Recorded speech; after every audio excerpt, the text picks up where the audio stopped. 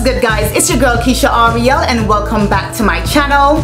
Okay, so in today's video, I will continue to answer some further questions regarding your starter lock journey. Now, if you haven't yet seen the first part of this lock Q&A, definitely go ahead and check the cards above as well as in the description bar below to see the first part of this and then come right back to this one and we'll continue all right so let's get right into it. Okay so the next question i have here is i have very coarse 4c hair. How long will it be before my hair locks? All right so the locking process based off my personal experience usually starts from um, like the three month mark. Okay so three months into your lock journey your hair will start to lock. Now, this is not to say that your hair will look like locks, but it will start to lock on the inside. So for it to be fully locked, um, and you said you got very coarse 4C hair because I know that the coarse of the hair is is the um, I guess not quicker I won't say the quicker it locks but I would say you can expect your hair to lock within the first year right because I have, I believe my hair texture is 4A, 4B. And within the first year, my hair was actually locked. So my hair is a bit soft, but it's definitely a four type um, curl pattern that I do have. Um, it's not like coarse, coarse.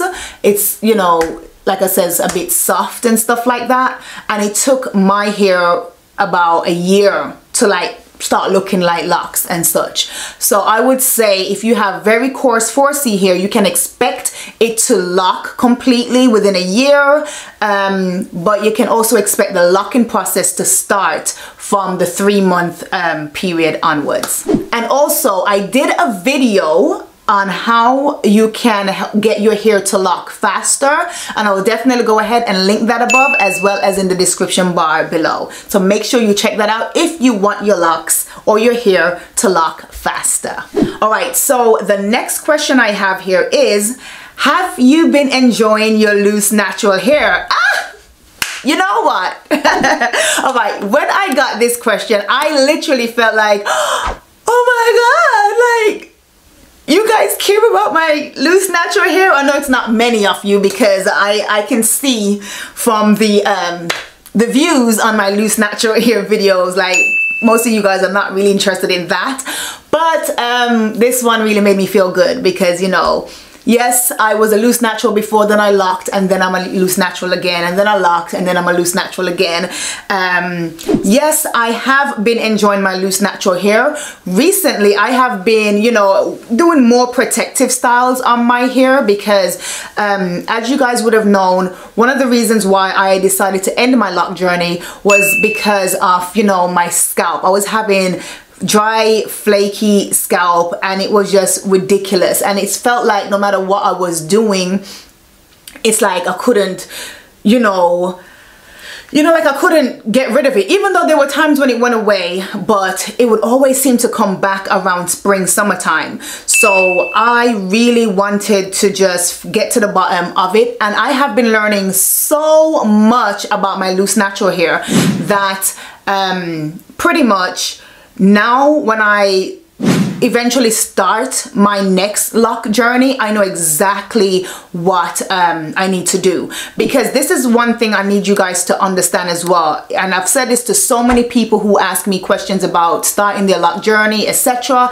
is you have to first understand your hair. Whether you're starting your lock journey yourself or you're starting somebody else's lock journey, you have to understand your hair texture, your hair strand thickness, your hair density, also your scalp condition because all of that plays a major part. And since, um, you know, ending my lock journey, I have learned so much about my loose natural hair to the point where as I mentioned when it's time for me to start my next lock journey I know exactly what I need to do. So anyway to answer that question yes I have been enjoying my loose natural hair and I'm also enjoying um, you know switching up the styles and rocking these protective style as well. So yeah.